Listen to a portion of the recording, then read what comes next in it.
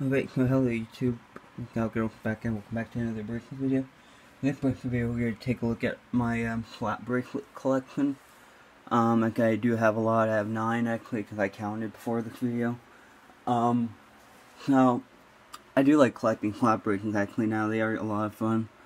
Um, but probably my, well my number one favorite probably this one. But it's my second favorite. Um, anyway, I'm going to start with over here. So we got the 2020 uh, Magic Band with Mickey, one of the Chipmunks, Goofy, and then Mickey with another Chipmunk and Donald. Um, with the 2020 symbol, which to me looks like the, uh, it looks like Doctor Seuss, makes me think of Doctor Seuss. Um, I like it. Um, so we have that one. We have the pride one here that says love, and on the back of it, it has heart, love, peace, peace sign, heart, and Mickey symbol. Um, my number one favorite one, which I've reviewed already, so if you guys want to see that review, check out my channel and subscribe. And it is glitter. Um, we have Dumbo with some stars and fireworks.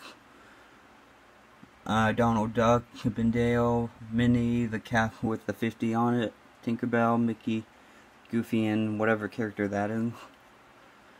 And then we got the castle on the back, and then uh, oh, and this bracelet glitter too.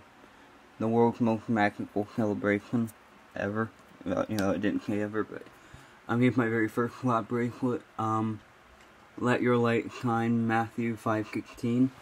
We have um over here, South Dakota, Wall Drug with some animals on it.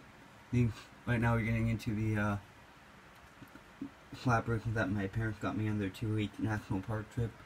Um, now we got Zion National Park. Um, my favorite one from the five is this is the Colorado, or no, Mount Rushmore National Memorial.